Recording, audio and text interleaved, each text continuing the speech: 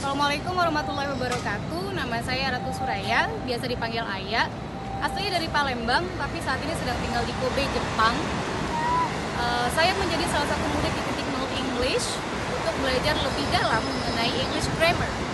Menurut saya, salah satu kelebihan di titik nol English adalah yang pertama tutor, ngajarnya oke banget, masih muda, jadi kita masih semangat buat belajar, harganya terjangkau, jadi menurut saya, titik nol English adalah tempat yang oke buat kamu buat belajar.